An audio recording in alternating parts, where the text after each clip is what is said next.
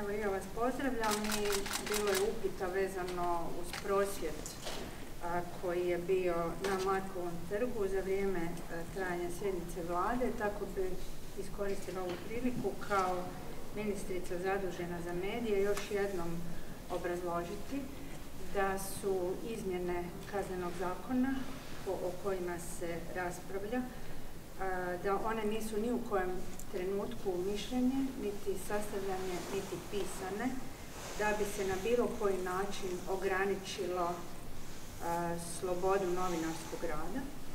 U tom smislu ponovit ću da je izrijekom navedeno u samom prijedlogu zakona da počinjenje, pomaganje ili poticanje kaznenog djela ne može ostvariti onaj ko obavlja novinarski posao, a dodatno za one koji su plasirali informaciju da je namjera donošenja ovog zakona na bilo koji način utjecati na rad novinara, treba uputiti i na ovaj dio članka koji govori da neće biti kaznenog djela ako se radi o zaštiti žrtve, kaznenog djela u interesu obrane ili u drugom pretežito javnom interesu. Odmah treba reći da pretežiti javni interes utvrđuje sud, jer je sud jedini meritoran to utvrditi. Pa ako je to samo odluka vlade bila, zašto to nije stavljeno u zakon odmah? Pa vrlo smo jasno rekli da zato što su se pojavile pogrešne informacije, mi smo od početka,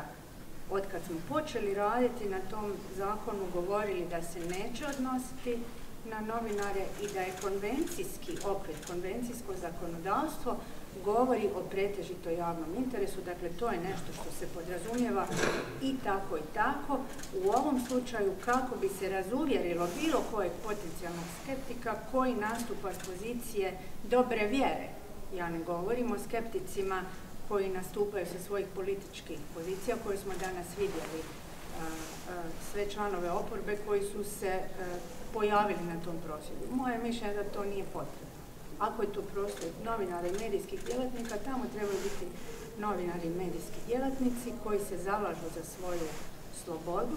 Vi se zalažete za slobodu rada svog svoje struke, to je interes svake vlasti, svake demokratske vlasti, to je interes naše vlasti i mi to svjedočimo i inzistiranjem na poštivanju medijskih standarda i donošenjem svih drugih. Skeptici s pozicije dobre vjere su vam sve te kritike upućivali prije prvog čitanja zakona. Zbog toga je uvršteno u zakon da su novinari izuzeti od kaznenog progona. Zašto onda, ako su i tada bile upućivane iste kritike, da bi trebalo uvrstiti u zakon e, tu stavku da ono što je od javnog interesa ne bude pod kaznenim progonom, zašto to nije stavljeno odmah, nego sad naknadno, ako nije bilo pod ničim pritiskom? Pa, ja ću ponoviti, dakle nije bio ničiji pritisak, osobno nisam pravnica i ne poznajem dovoljno dobro konvencije koje to područje uređuju da bih sada mogla ući u meritum, ali ono što znam je da je i po našem ustavu ono što je sadržano u konvenciji da je sastavnim dijelom zakonodavstva, dakle pitanje javnog interesa kao standarda je nešto što se primjenjuje. Mi mislimo da će se na ovaj način uvođenjem i tog dodatnog stavka samo situacija razjasniti. Međutim, ono što je ključ,